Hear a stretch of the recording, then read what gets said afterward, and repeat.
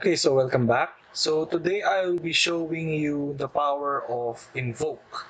Okay?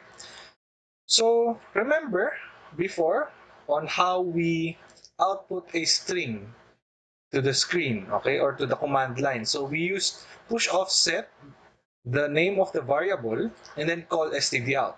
Okay? So if we compile this, console build all, no errors, and we can test our script.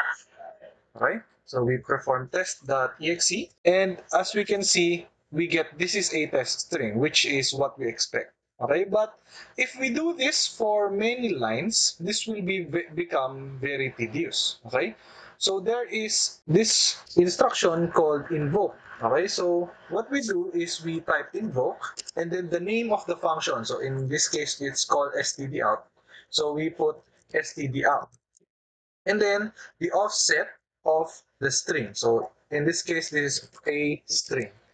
Okay? So this is equivalent to doing push offset a string called stdout, but only in one line.